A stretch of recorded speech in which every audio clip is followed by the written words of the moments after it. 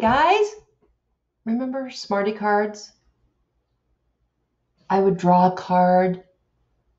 Some lucky student or unlucky student would then be asked a question or they would have to respond some sort of insight. We're not going to be able to do that in a remote setting. But here's the next best thing. It's kind of like Smarty Cards. I think only better. It's called Van Bucks. And Van Bucks is essentially our mission statement, our guidelines for success for students. So if you exhibit in our remote setting that you can be responsible, that you can be respectful, that you can be positive, that you can be honest, you can be kind, and persevere. That's a huge one because these are challenging times.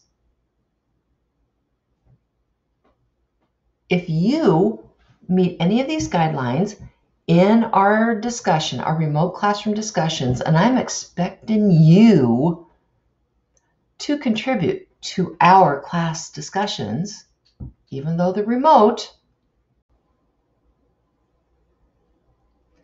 And you hear this?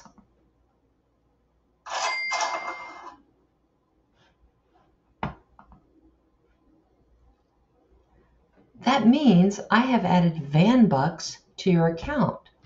What are Van Bucks?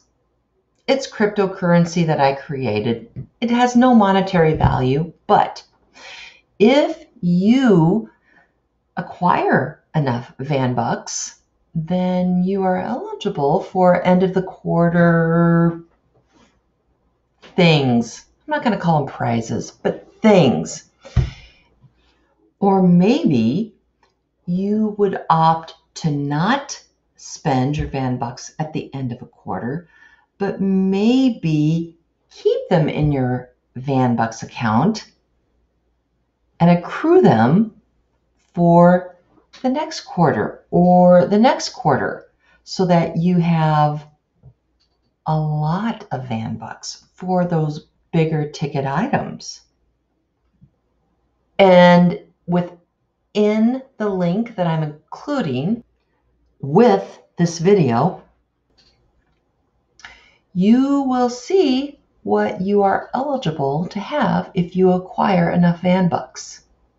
So think of van bucks as remote Smarties, if you will.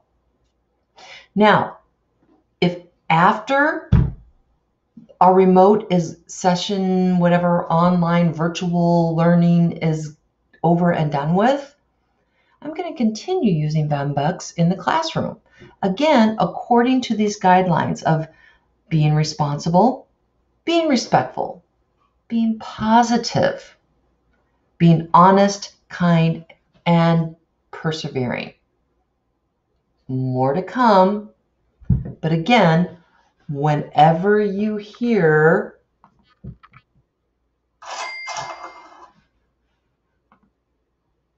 think money has been added to my Van Buck bank account. Be well.